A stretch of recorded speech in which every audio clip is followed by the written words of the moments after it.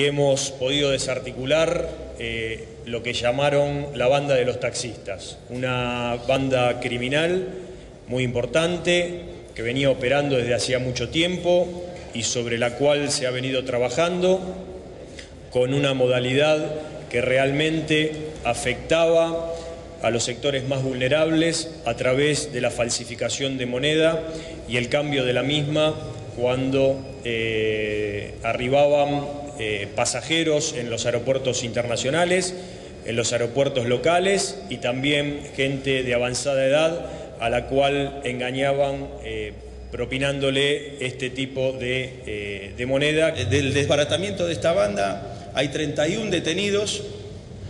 se efectuaron más de 30 allanamientos, el más importante es el que se llevó a cabo en Mar del Plata, donde estaba en el lugar eh, la imprenta más importante, provincia de Buenos Aires, como Ser Lanús, Quilmes, Loma del Mirador, etc. El jefe de la banda era un colombiano, eh, se secuestraron gran cantidad de taxis que están a disposición de la justicia y en el momento del, allanamiento en Mar del Plata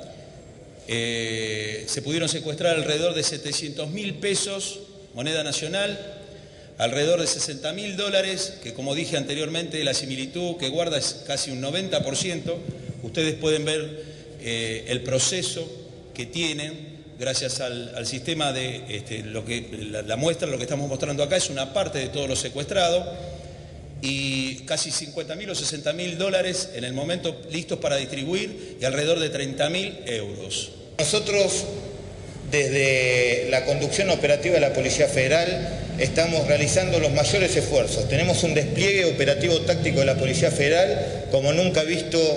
en los últimos años. Hemos incorporado la mayor tecnología, eh, la ministra de Seguridad ha hecho una inversión importantísima eh, en todo lo que se refiere a la denuncia telefónica al 911. Si nosotros detenemos 165 personas este año robando en plena calle, de los cuales 65 ya han sido detenidos una, dos y hasta tres veces el año pasado, quiere decir que estamos teniendo un problema con la justicia. No puede ser que tengamos que detener al mismo delincuente eh, eh, dos, tres, cuatro y cinco veces en el año. Entonces a eso se debe que todavía, a pesar del, gran despliegue táctico que tenemos con la policía, todavía seguimos teniendo delincuentes en la calle, porque los,